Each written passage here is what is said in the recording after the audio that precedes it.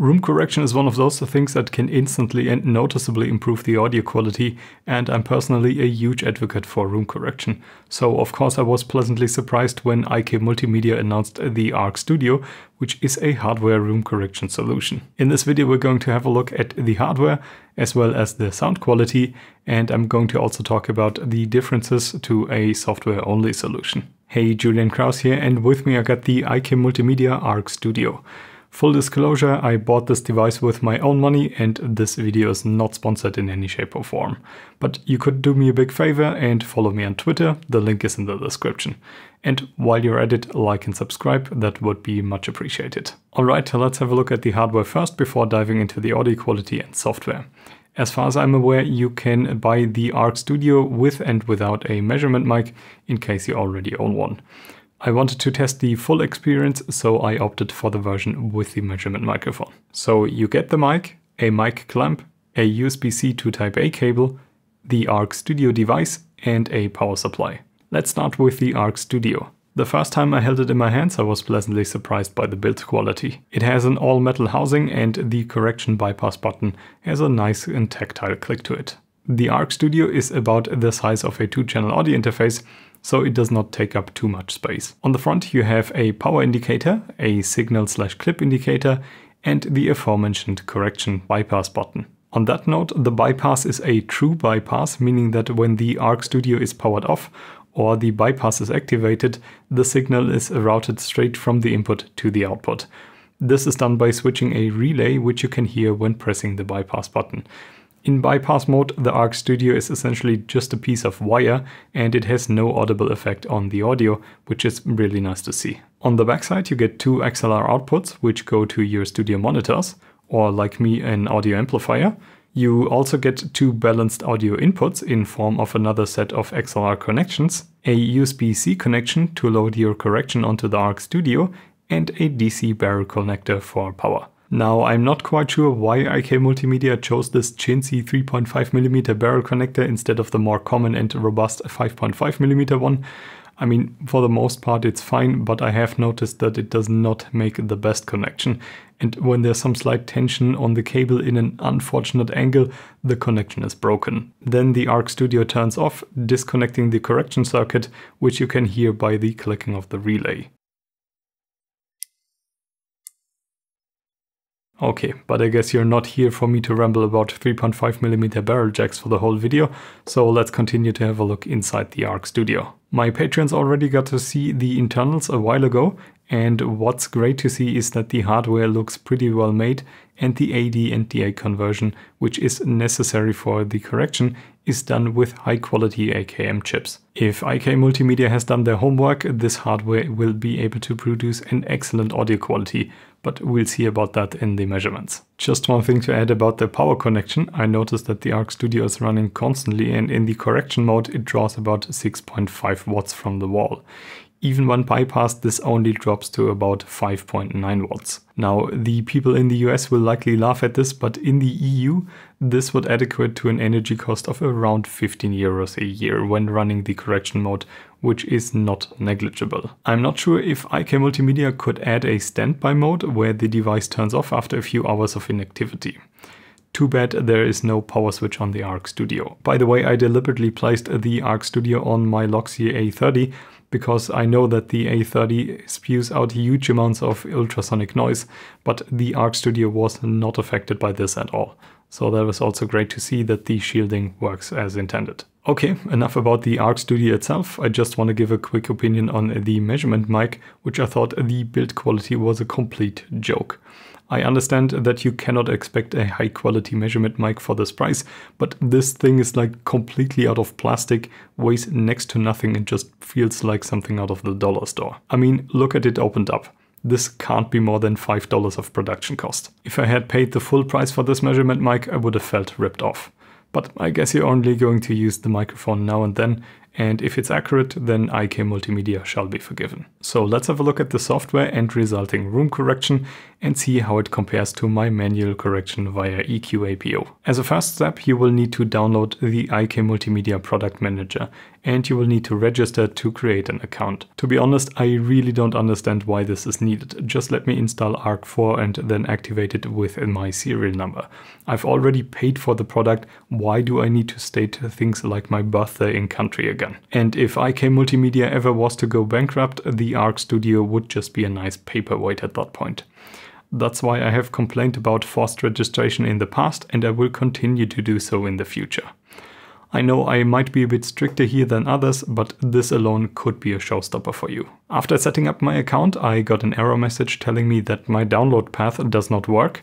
This is a quick fix, just select your default download folder in Windows, but that's definitely a bug and IK Multimedia should fix that. I then opened ARC4 after the installation through the product manager and a half hour troubleshooting session began, as the Arc Studio was not recognized by my PC. Took me a while, but I switched from the USB-C port on my PC to a USB-A port, and then the Arc Studio was immediately recognized.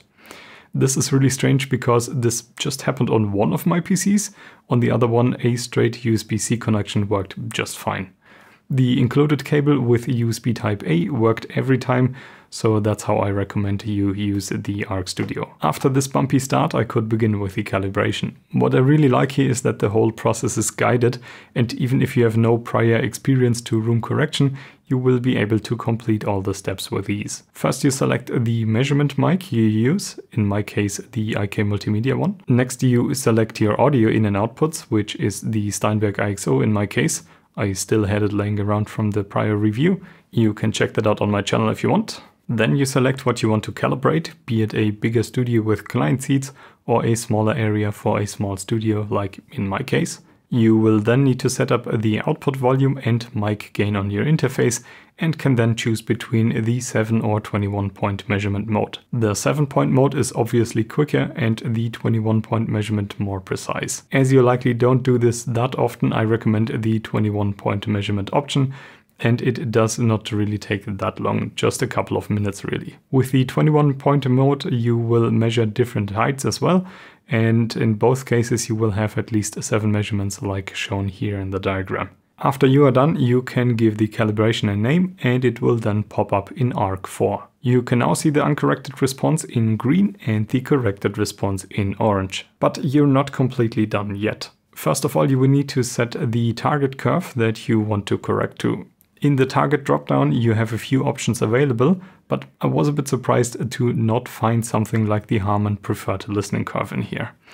I know it sounds counterintuitive, but flat is most definitely not what you want to go with, as this leaves you with a very bright sound that lacks in bass.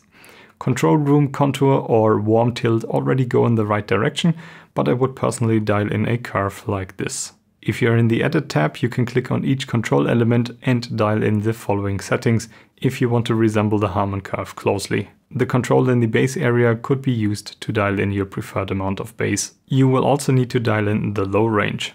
Otherwise the software will try everything to boost the output to hit the target curve.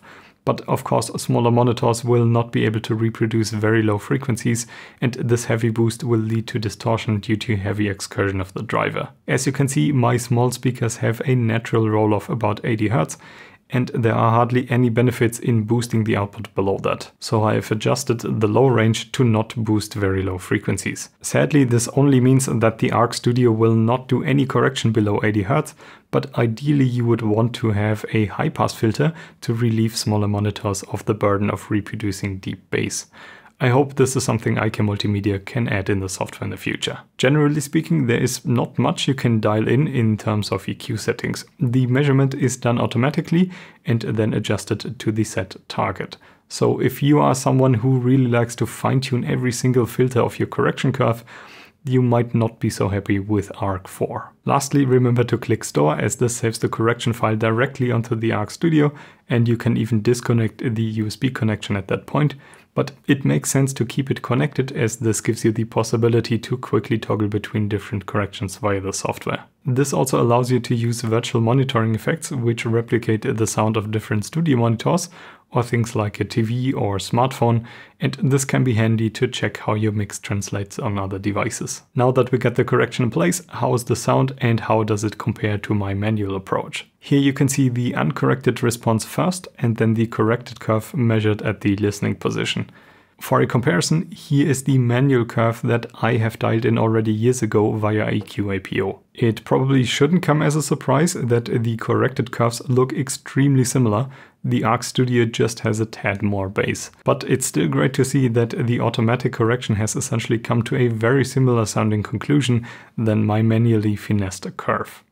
Yeah, I can say that the corrected audio with the Arc Studio sounds much better than the uncorrected response. In my case, you can see that I had quite a bit of upper bass and mid-frequency boost, which resulted in audio that sounded kinda boxy and nasally when uncorrected but with the correction in place, it sounds much more even and natural. On that note, you might ask yourself the question, why do I want to go with a hardware room correction solution in comparison to a software only solution?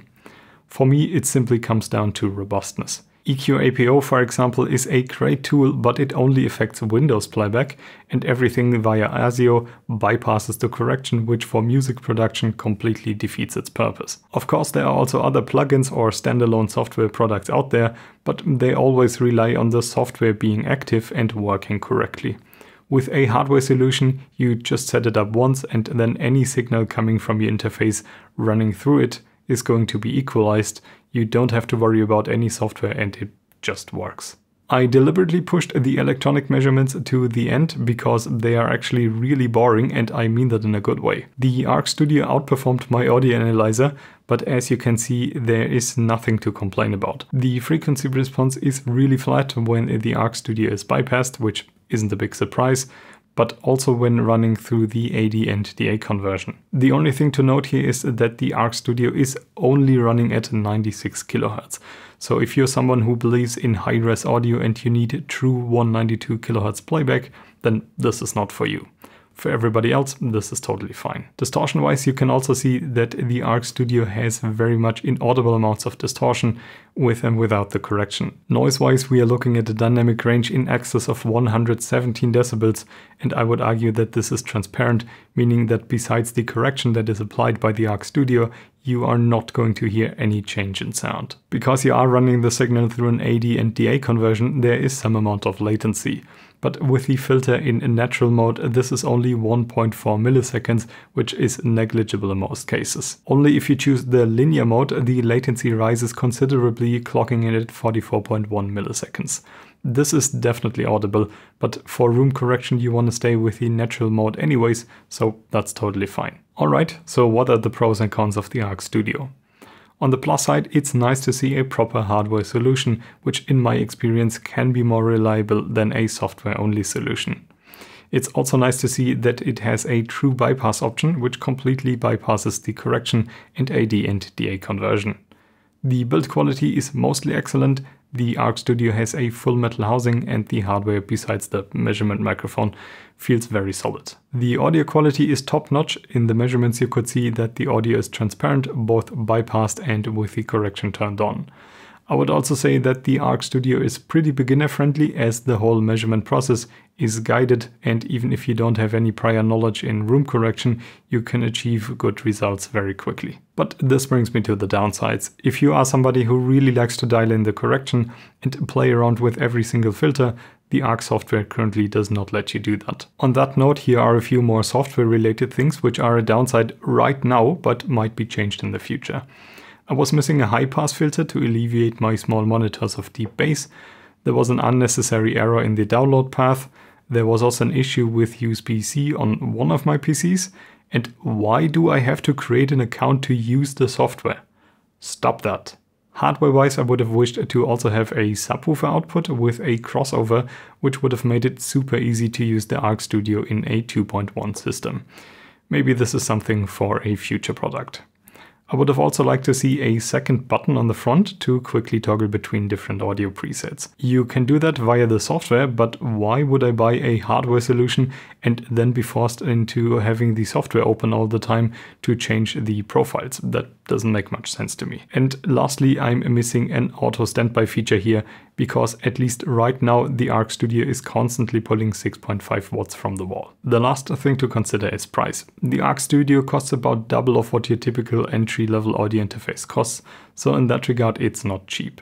And I'm leaning myself out of the window here, but I have the feeling that it won't be too long until we also see audio interfaces with built-in room correction. But if you already have an interface and you want to benefit from a hardware room correction, the Arc Studio might be exactly what you're looking for. Okay, like and subscribe, and I will see you all in the next one.